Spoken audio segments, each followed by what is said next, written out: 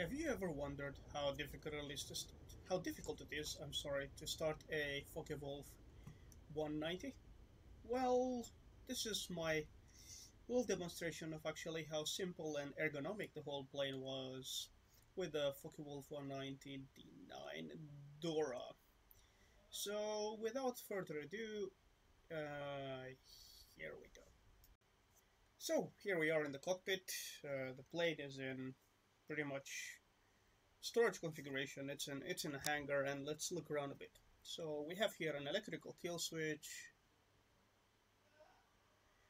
MW84 selector apparently not implemented. Uh, radio volume, radio channel selector, a throttle of course. Here we have a series of buttons for landing gear and flaps, indicator for landing gear and flaps, trimming, um, and uh, MW uh, 50 this is for the fuel booster, magnetos, IFF, uh, instrument panel brightness. No, this is the electric kill switch, I apologize. Emergency equipment destruction, well, apparently it has that. IFF, uh, landing gear emergency release, fuel pump, um, selector, uh, MBG emergency mode handle, I don't know what it is. Uh, jettison fuselage store, so if you have bombs, you can just simply jettison them. Uh, temperature and pressure um, indicators, fuel indicator, fuel tank um, selector indicator, oxygen controls. Then you have the, I guess, 7 pack, well, 6 pack with altimeter, speed in kilometers per hour. This is in uh, meters. ADI, uh, vertical velocity indicator, horizontal situational indicator, ATA. I think this is has something to do with the uh, engine, but I don't exactly remember what it stands for. And this is the RPM. Here we have uh, electrical systems, uh, clock, canopy closure, and fuel pump uh, settings. And here gun sight aiming correction, these I have never used. But it's relatively simple, so how do we start it? Of course, on the upper panel we have a adjustable gun sight and master arm switch with indicators for the guns in the wings and the fuselage.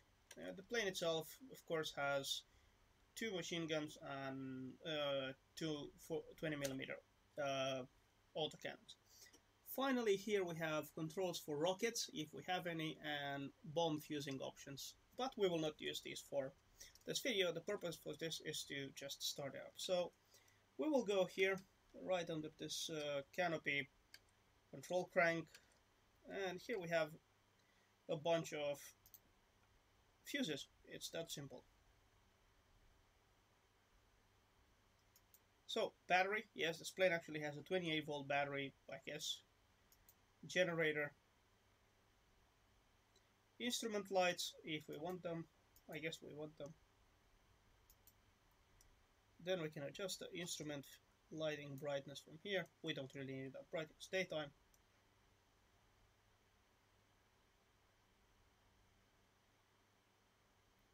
Radios, uh, navigational radios I think. Pitot heating, which is a basically landing gear power. Yeah, if you don't power this, your landing gear, which is electrically actuated, will not work. And flap trimmer and ADI power on. I'm going to close these. It's a good idea to close them so you don't accidentally bump into them. Uh, now that we have electrical power, we can actually see how much fuel we have. So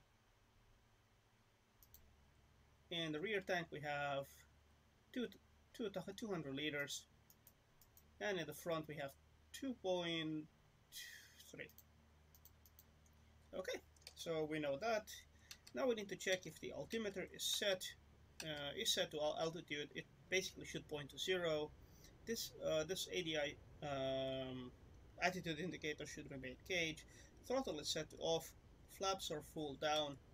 Okay so let's continue. First, of course, we will need uh, to fire up the fuel pumps. That's one and two and both pumps. So we'll be using both tanks.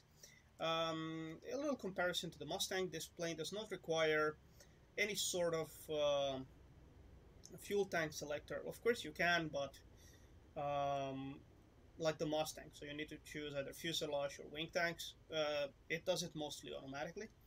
So what does the uh, plane also need? We will also need to set the magnetos. So this will basically just do the ignition of the fuel, as far as I understand it, in the engine.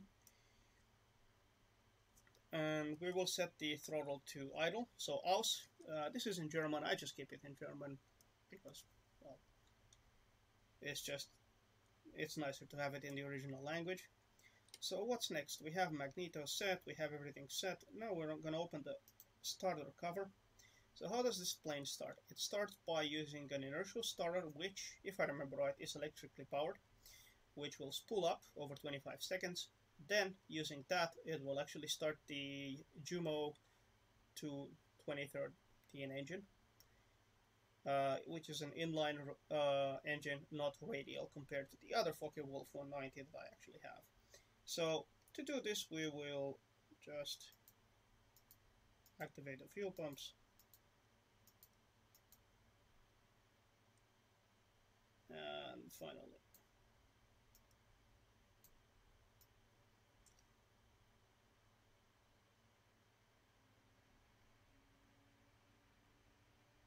there's a very weak sound, probably you don't hear it in the background, but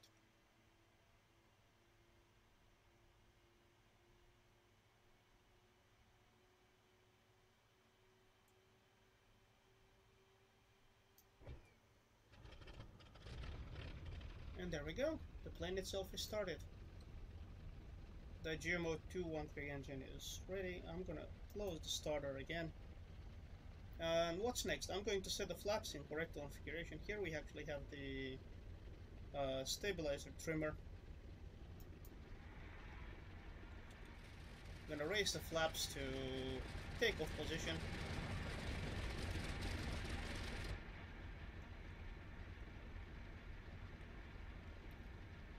There should be an indicator on the wing, but it's easy to just follow this button and we have here, as I told you, these uh, lights that indicate the position of our flaps. Trim is, trimming is neutral, which is how it should be.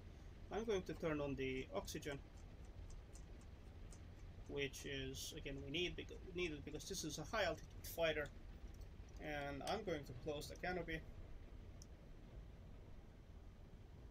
It is a pressurized canopy, I think, I'm not sure exactly. Of course, we would go to channel 3 where we have the tower, ADC, Carpiquet is our airport. Well, we should request startup.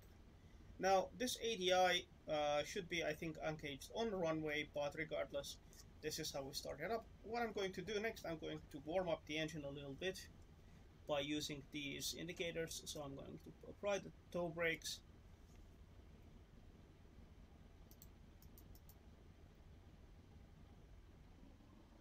I'm going to set the RPM to about 1000.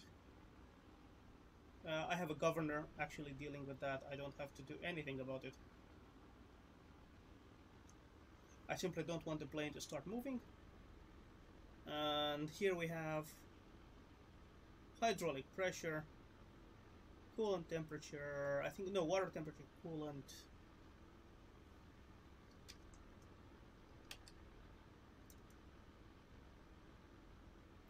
And this is, again, pressure, it's kilograms per uh, cubes, cubic centimeter, but that's how it is. Oh yes, also I had forgotten here it has two fuel indicators, so it will tell you if your fuel tanks are either uh, on or off and IFF you can set it to whatever, uh, whatever channel you might have set up for your mission. But that's about it. Now the plane is started and ready for taxi. I'm sorry if I wasn't very clear, but regardless, it's a very simple procedure, and the plane itself has a very ergonomic cockpit for a World War II airplane. Anyway, I hope you enjoyed, and uh, thank you for tuning in.